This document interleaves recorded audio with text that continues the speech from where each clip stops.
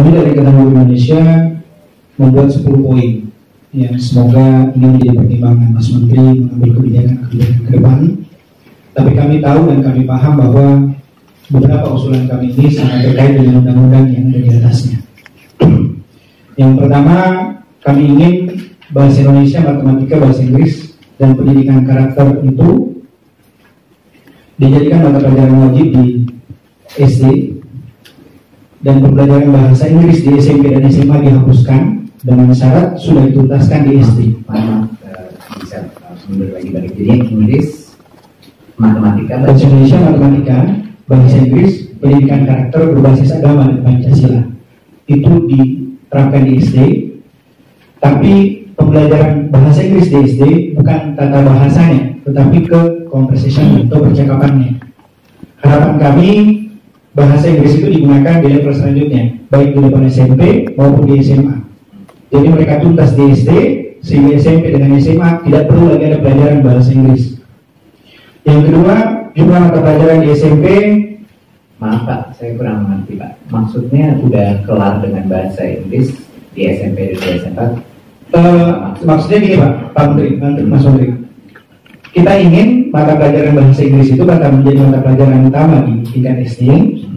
Tuntas di tingkat SD, hampir semua atau mungkin semua siswa SD sudah memiliki kemampuan bercakap bahasa Inggris sehingga di SMP dengan SMA tinggal digunakan.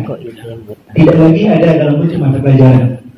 Kenapa? Karena ini terkait usulan kami selanjutnya.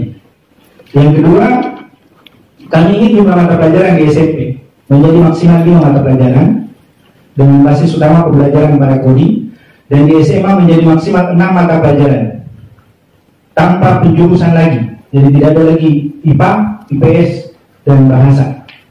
Kemudian mereka yang ingin fokus pada keahlian dipersilahkan memilih SMK. Yang ketiga Pak Mas Menteri, SMK karena fokus pada keahlian maka harus menggunakan sistem SKS seperti perkuliahan. Sehingga siswa SMK sudah bisa menuntaskan program keahliannya kurang dari dua tahun atau mungkin dua tahun atau kurang dari itu. Sementara yang memang lambat melakukan e, resapan terhadap keahlian itu bisa saja sampai empat tahun.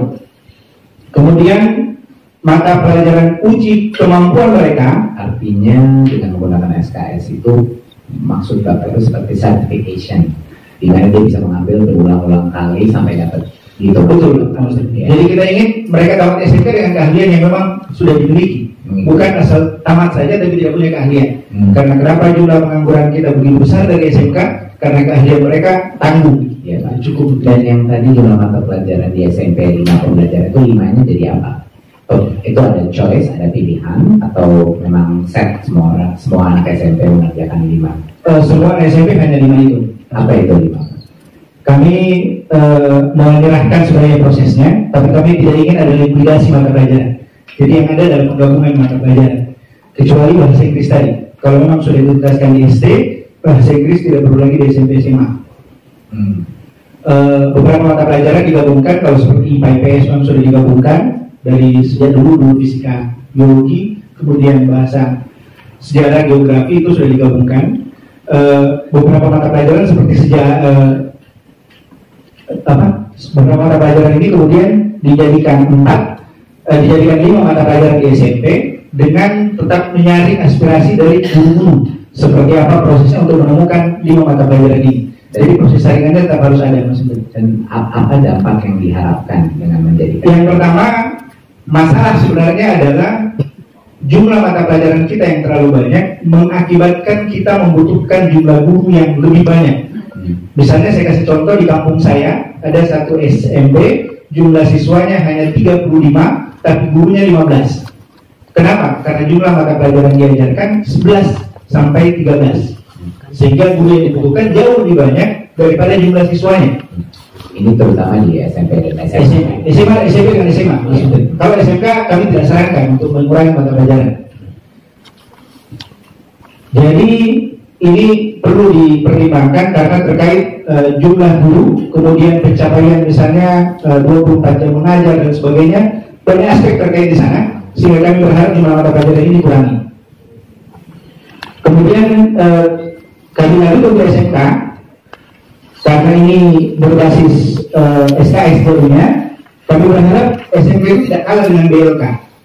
Kami agak heran Mas Menteri, alumni BLK begitu ahli dengan kemampuannya, sementara SMK yang belajarnya tiga tahun atau empat tahun tidak mampu seperti SMP eh, BLK.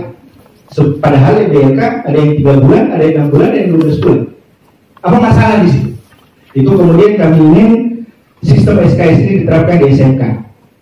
Kemudian sebagai konsekuensi dari situ, LPTK harus menyediakan guru produktif. Karena selama ini guru produktif agak sulit ditemukan. Misalnya sarjana pendidikan pertanian, kita tidak punya itu. Sarjana pendidikan peternakan, kita tidak punya itu. Yang ada adalah sarjana peternakan yang dikaryakan masuk menjadi guru SMK. Sementara LPTK sibuk dengan berbagai jurusan yang sebenarnya sudah tidak diperlukan. Seperti jurusan matematika, alumni sudah kelebihan, fisika, biologi, bahasa Inggris, dan sebagainya, semua sudah kelebihan. Tapi tetap terus-menerus diproduksi. Sehingga kita mengharapkan LPTK berubah menunjukkan guru-guru mata pelajaran produktif. Kemudian yang selanjutnya Mas Menteri, kami ingin jabatan pengawas sekolah dihapuskan untuk sementara. Kenapa dihapuskan jabatan pengawas sekolah? Karena guru kita kurang. Daripada mereka menjadi pengawas sekolah, lebih baik mereka menjadi guru dulu. Kecuali kalau jumlah gurunya sudah cukup, silahkan diadakan kembali pengawas sekolah. Fungsi pengawas sekolah dikembalikan ke kepala sekolah dan dinas pendidikan setempat jika undang-undang otonomi daerah tidak diubah. Untuk untuk area-area yang kebanyakan gurunya bersekolah gimana?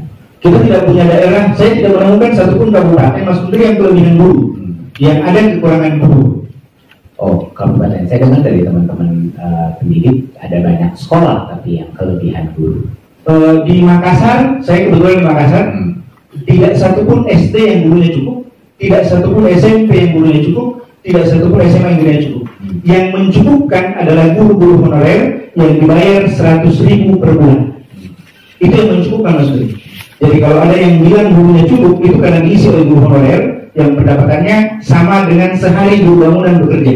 Tapi yang Bapak bilang tadi mengenai karena kebanyakan mata pelajaran dan karena setiap mata pelajaran itu butuh butuhkan guru yang berbeda dengan aplikasi berbeda, ya di situlah kebutuhan guru itu sebenarnya secara artificial ketinggian, benar kan Bapak? Tadi yang Bapak bilang, iya, tapi kan diisi sama guru honorer maksudnya. Hmm. Jadi yang diisi itu adalah jadi 16 tadi 15 eh, apa 15 guru tadi yang kami maksud itu adalah 15 yang honorer PNS-nya paling 4 atau 5 orang.